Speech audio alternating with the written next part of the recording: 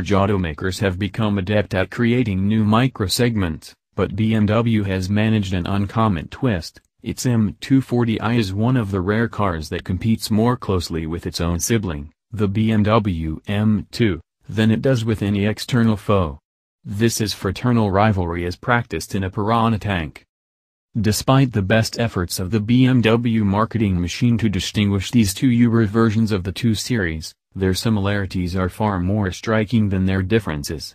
Both are powered by 3.0-liter turbocharged inline-six engines with similar outputs, both hit 60 miles per hour within one-third of a second of each other, and both wear the M badges that indicate they were developed by BMW's Motorsport division.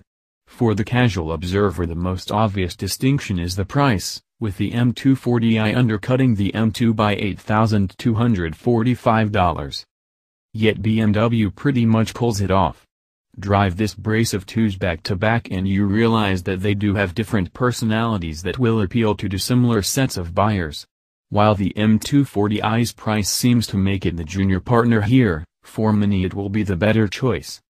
Plenty of thrust, there's certainly no shortage of performance.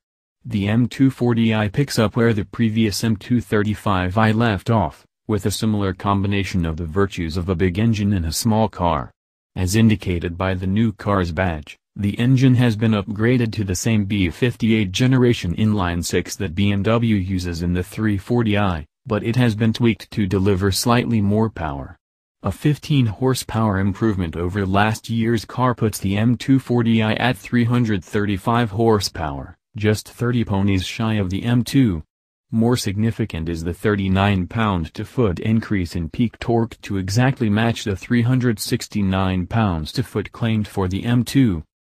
But while the M2's engine lives to be worked hard, the M240i's power plant is better suited to effortless progress, pulling strongly from diesel